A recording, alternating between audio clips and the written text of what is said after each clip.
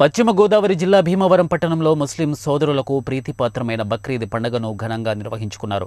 ముందుగా తెల్లవారుజాము నుండే భీమవరం ఎంతో పరమ పవిత్రమైన పెద్ద మసీదు ప్రాంగణంలో ముస్లిం సోదరులు భక్తి శ్రద్ధలతో భక్తిపూర్వక ప్రార్థన చేశారు.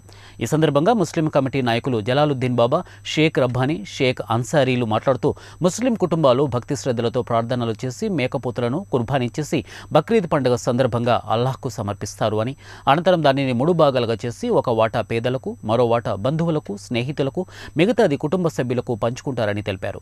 దానాలకు ప్రత్యేకంగా బక్రీద్ పండుగ పూర్వీకుల వద్ద నుండి సాంప్రదాయబద్ధంగా నిర్వహిస్తున్నామని అన్నారు.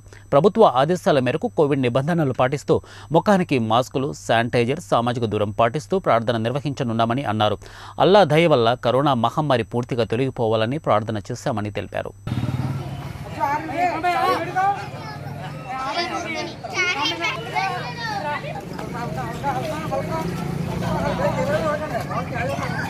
పర్వదిన సందర్భంగా భీమవరంలో మరి ముస్లిం సోదరులు భక్తి శ్రద్ధలతో ఈ పండుగ నిర్వహించుకోవడం జరుగుతుంది.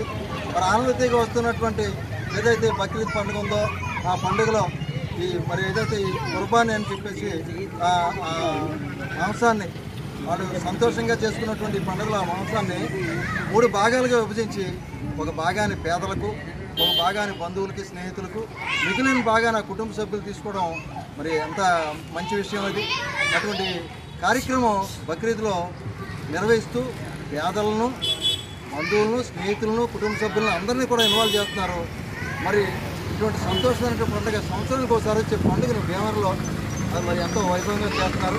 ముస్లిం సోదరులకు ముస్లిం సోదరులకు మరియు మా ప్రియతం నాయకులు గ్రంథి శ్రీనివాస్ గారికి శాసనసభ్యులు గంటి శ్రీనివాస్ గారికి ప్రతి శుభాకాంక్షలు.